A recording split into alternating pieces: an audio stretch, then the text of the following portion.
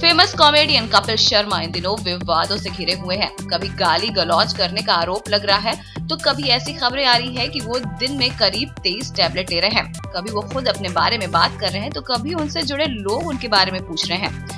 हाल ही में कपिल के पुराने को एक्टर और दोस्त अली असगर ने भी एक चौंकाने वाला स्टेटमेंट दिया है।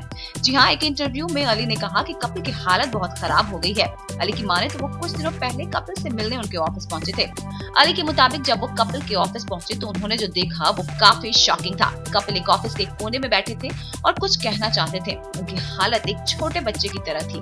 वो कुछ नहीं कह पाए। अली ने ये भी बताया कि कपिल के हाथ पर उनकी एक्स गर्लफ्रेंड प्रीति सिमोस का नाम लिखा हुआ था। अली की बात से ऐसा लगता है कि कपिल अपनी प्रेजेंट और एक्स गर्लफ्रेंड के बीच फंस गए हैं। हाल ही में कपिल ने प्रीति सिमोस के खिलाफ केस भी दर्ज कराया है। इसके बाद प्रीति ने इंटरव्यू में कहा था कि कपिल की मानसिक हालत ठीक नहीं है। उनकी गर्लफ्रेंड गिनी चतरत उन्हें कंट्रोल कर रही है। प्रीति ने यह भी बताया था कि कुछ दिनों पहले कपिल ने उनके साथ फिर से काम करने की इच्छा ज़ाहिर की थी, लेकिन गिनी ने इसकी इजाज़त नहीं दी। वेल अब इसमें कितनी सच्चाई है, इसका पता तो जल्द ही चल जाएगा।